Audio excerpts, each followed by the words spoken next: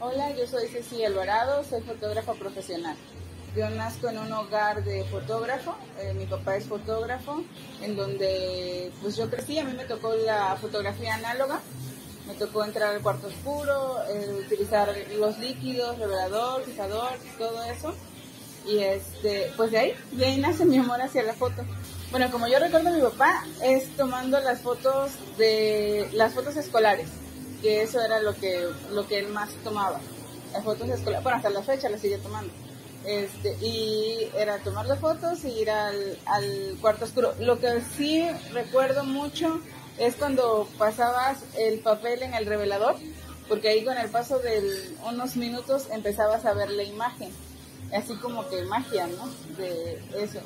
También de las cosas que recuerdo es que me dijeran, este, desde muy chica, no tendría yo creo que como unos 8 o 9 años, que ya me decían que pasara yo las fotos de un líquido a otro, se ocupaban unas charolitas y estaban en el en un líquido había revelador, en otro este fijador, agua y que me dijeran, "Vete", sonaba el reloj y me decían, "Vete a cambiar las saca las fotos del revelador, pásalas al fijador."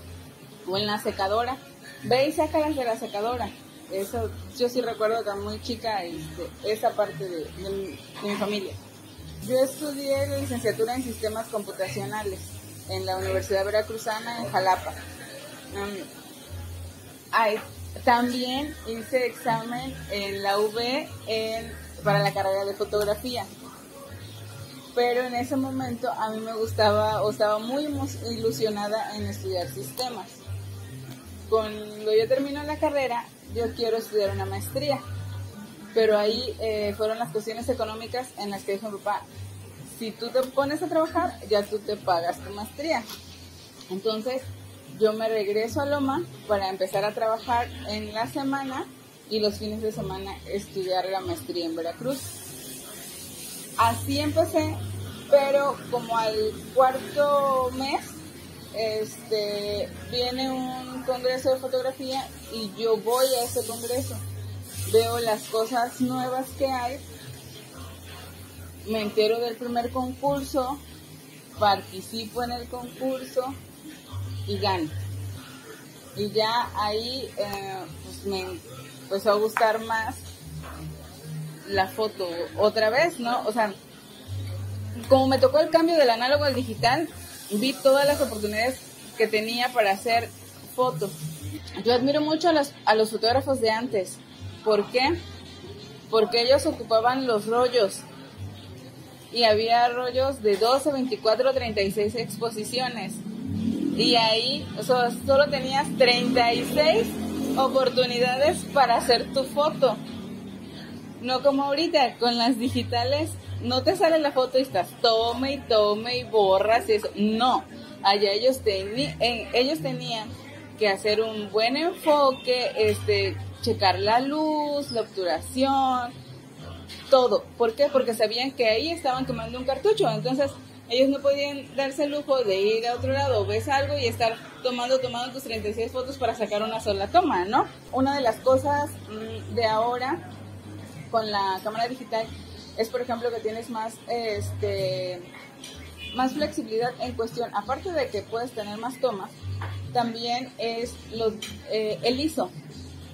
Anteriormente para que tú tomaras fotos con diferente ISO, pues tenías que cambiar de rollo y ahorita no, ahorita tú con tus cámaras puedes manejar una gama amplia en cuestión de, velocidad, de obturación y de, y de ISO. La primera cámara que obtuve, bueno, vamos a ver, primera, primera, primera, primera cámara que tuve, la primera, no sé si recuerdan unas rojas que había que les pasabas, este, tenían una palanquita y les ponías unas diapositivas y tú las veías a la luz y pasabas y te salían, en mi caso era de un cuento, el cuento de Blancanieves.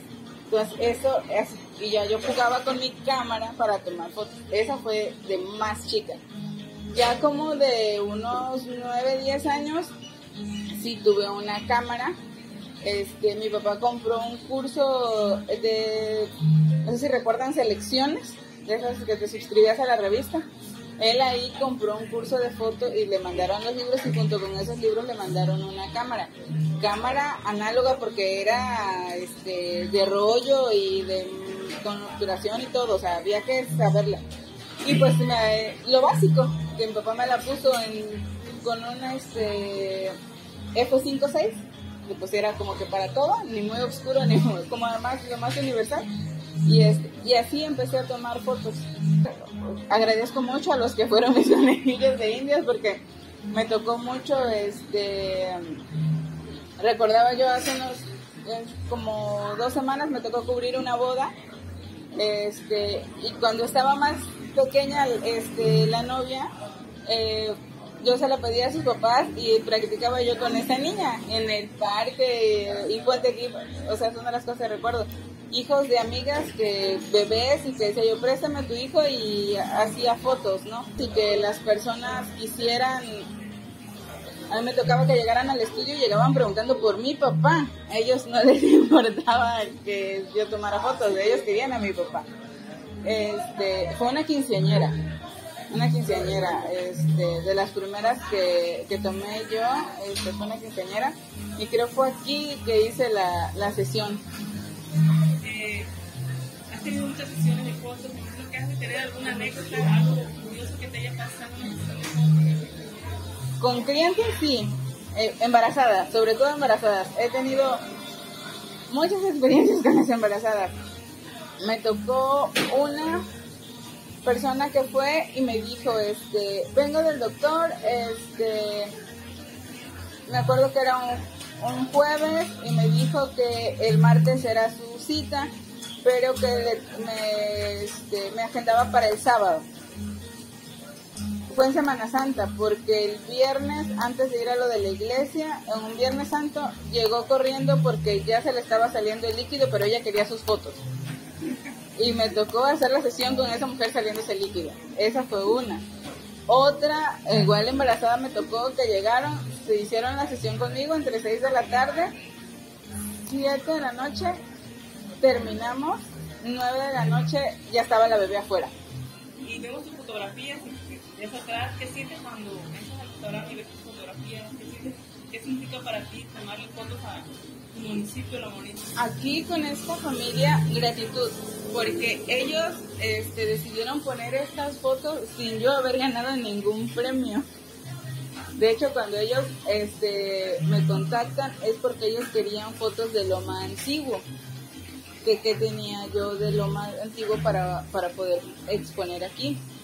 Yo les dije que no tenía fotos de antes, pero que yo estaba haciendo un trabajo de los poniteros y se los mostré y este pues Abelardo quedó contento y me dijo pues vamos a poner este en todavía no estaba aquí el café eh, primero se pusieron en las habitaciones.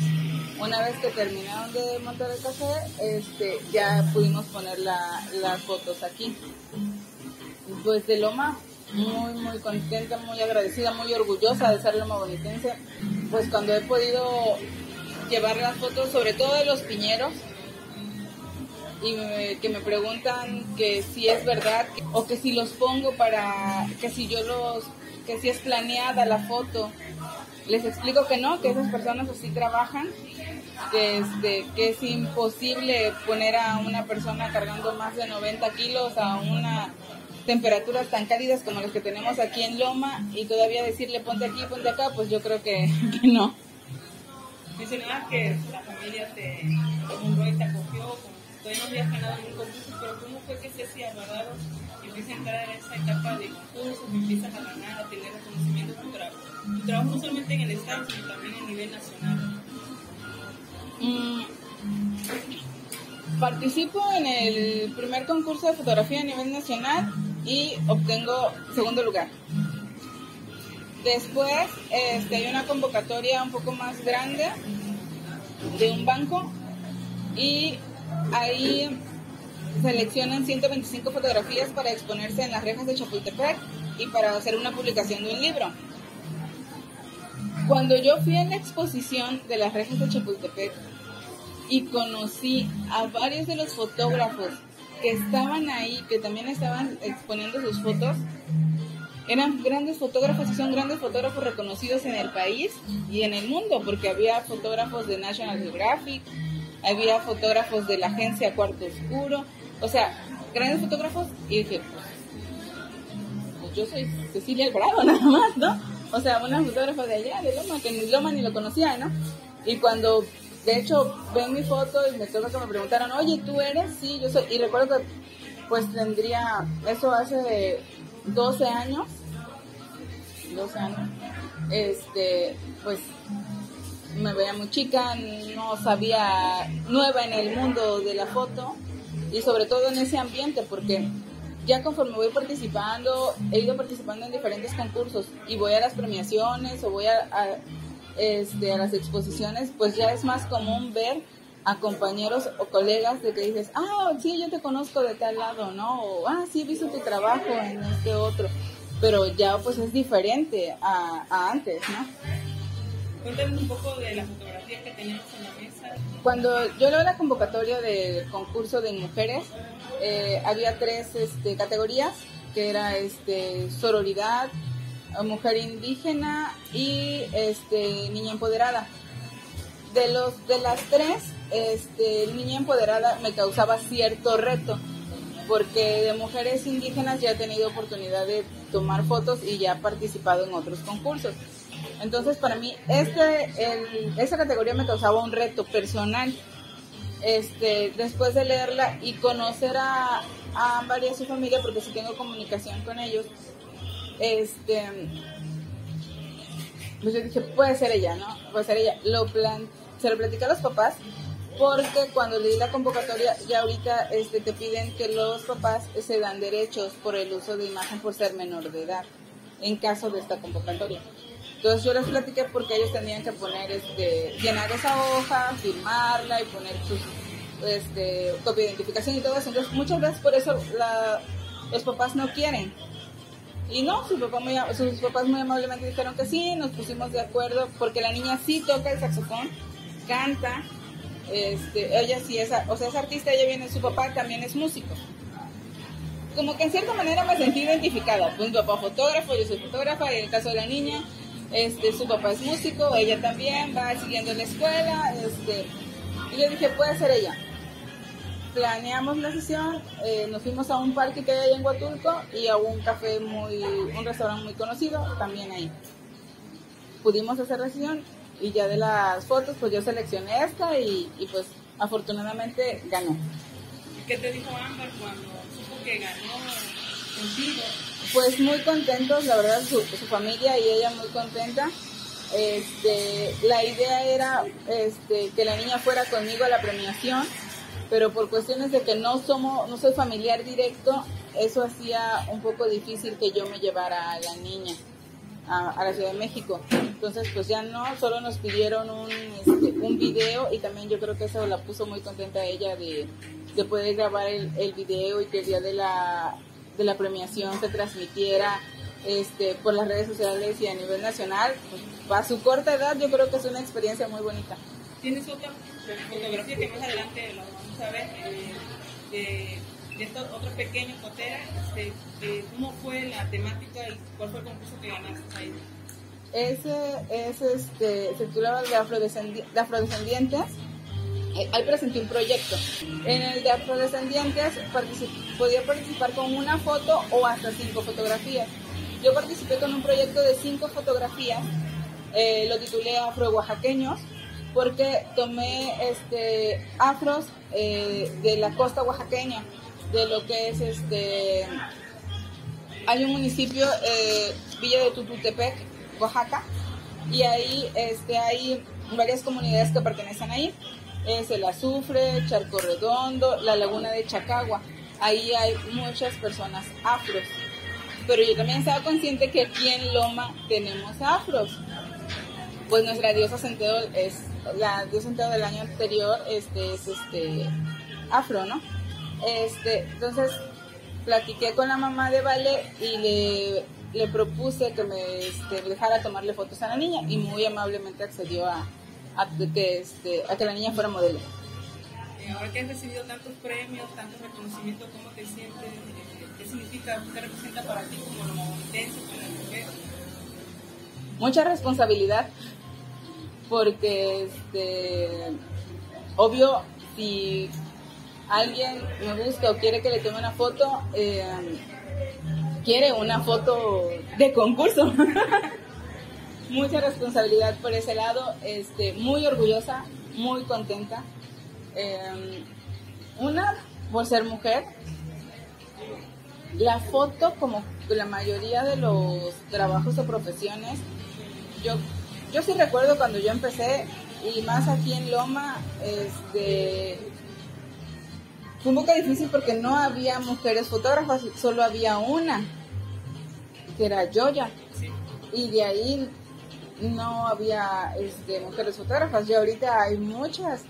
Y ahora hablar de sesiones aquí en Loma tampoco había, estaban acostumbrados nada más a las fotos que se hacían antes. Entonces, pues por un lado, eh, contenta porque sí, este, me tocó así como que picar piedra, abrir caminos, sí, como me dicen, este, tenés la fortuna de que ya tenías un estudio, sí, el estudio progresivo era de mi papá, la gente buscaba a mi papá, las, no me tocó que yo estuviera atendiendo y que llegaban las personas, sobre todo las personas adultas, y que quisieran foto y decía, yo se la tomo, no, ¿no está el señor? Y yo, sí, fue un mando eso, lo espero, y no querían nada conmigo. A base de tiempo y de ver que cómo era mi trabajo fue que me fui ganando la confianza de las personas y ahora sí quieren que yo les tome las fotos. Por el lado de, de ser lomamonitense, wow, o sea, lo platicaba yo ayer cuando vi la publicación de los resultados del último concurso y que dice mi nombre y a un lado dice oriunda de Loma Bonita, Oaxaca o googlear mi nombre porque ya lo hice también, googlear este, María Cecilia Alvarado Domínguez y enseguida ubican María Cecilia Alvarado Domínguez y aparece que, que, soy de Loma o fotos de Loma, fotos, estas fotos. Entonces, o sea, pues se siente bonito. ¿Te vas a la costa? ¿Cómo te ha recibido la gente de la costa? ¿Ya te acostumbraste?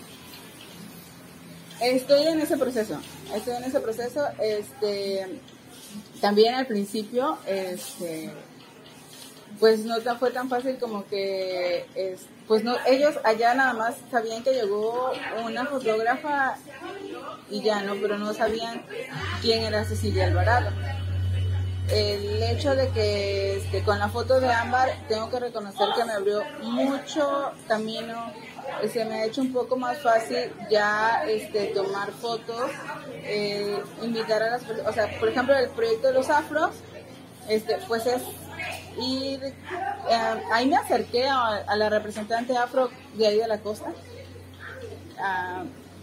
con Rosy Castro, y ella fue la que me dijo, mira, hay en tal comunidad, en estos lugares es donde puedes encontrar a esas personas, y así fue como este, pues me contacté con ellos. Yo que tomas fotos a muchos niños, eres madrina de muchos niños. ¿Qué consejo le darías a esos niños que posiblemente vean tu video, esas jóvenes, que tengan una, pasión por algo, también ese amor hacia la fotografía? Pues que le echen ganas, que hagan todo con pasión, con responsabilidad, porque este sí vale la pena, se pica mucha piedra, eh, pero yo creo que todos podemos, todos. Todos tenemos las mismas capacidades, tal vez unos más, otros menos, pero al final si tú trabajas, si tú le echas ganas, si tú eres perseverante, lo puedes lograr. Eh, la fotografía es muy noble, de veras que yo he sido muy afortunada y he sido muy bendecida porque, porque me dicen que el don es una foto, la fotografía es un don, sí es un don, pero eh, yo creo que Dios me quiere mucho porque me ha puesto este, personas muy buenas a mi lado, me ha puesto este, pues este, este don y que créanme que lo disfruto mucho. Sientan algo al ver lo que tú tomaste con la cámara, ya lo lograste. Cualquier sentimiento, cualquier sentimiento. Eh, hace algunos años yo tuve un periodo de depresión y platicando con un amigo fotógrafo, él me decía, aprovecha eso que estás sintiendo y toma fotos. Y yo le decía, ¿cómo voy a tomar fotos si me siento de la fregada? Y me decía, toma fotos. Dice, ¿por qué? Dice que eso lo aplicaba como terapia, que si estaba contento tomaba fotos, que si estaba triste tomaba fotos. Y les seguí su consejo. Y aun cuando estás triste, entonces logras sacar muy buenas fotos.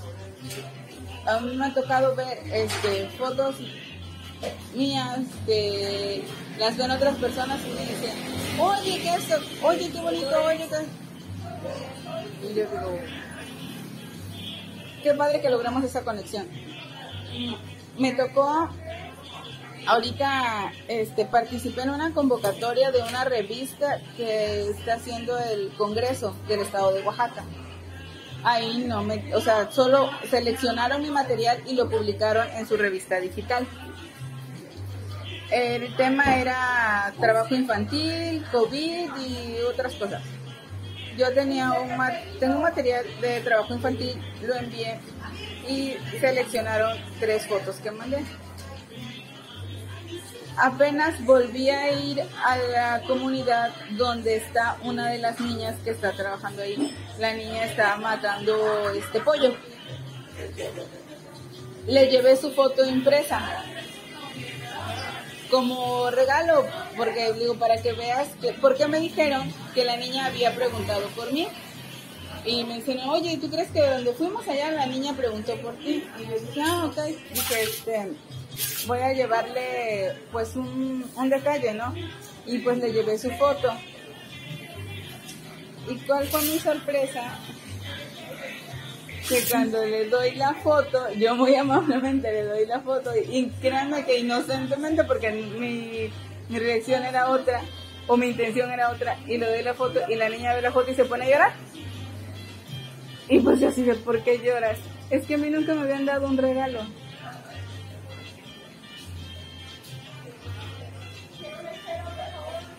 Ah, ¿qué les puedo decir? Bueno, ya tienes ya mencionabas a tu papá al principio que pues de alguna manera él, pues, te llevó a este camino de la fotografía. Tu papá va a ver el video, tu mamá, eh, ¿qué le puedes decir a ellos todo este trabajo que hicieron contigo, que te formaron como mujer, como la esa fotógrafa que eres? Gracias. Gracias. Lo hicieron muy bien. ¿Algo más que deseas agregarse? Sí.